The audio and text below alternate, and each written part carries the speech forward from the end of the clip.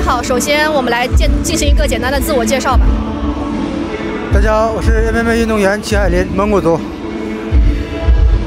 今天是在格格巷龙中斗的首战，可以简单分享一下自己的感受吗？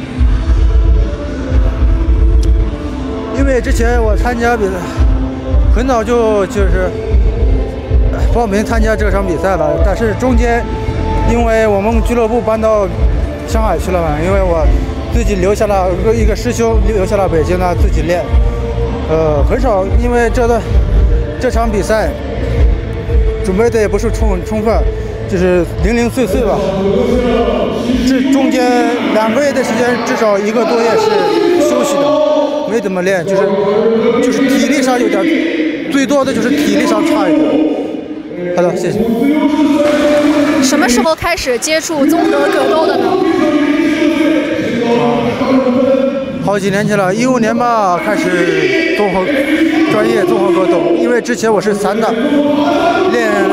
内蒙古自治区散打练散打出身，对，因为之前刚练 MMA 专业项目的时候，就是 MMA 练专业这个这条线的时候，当时没想过那么多啊。我教还是一样，散打样比较简单，我就一五年开始我就综合格斗 MMA 走向职业之路。你认为成为一名优秀的格斗选手所必须的最重要的品质是什么？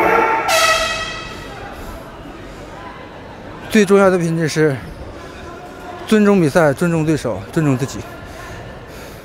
好的，感谢您接受今天采访，我们后台休息。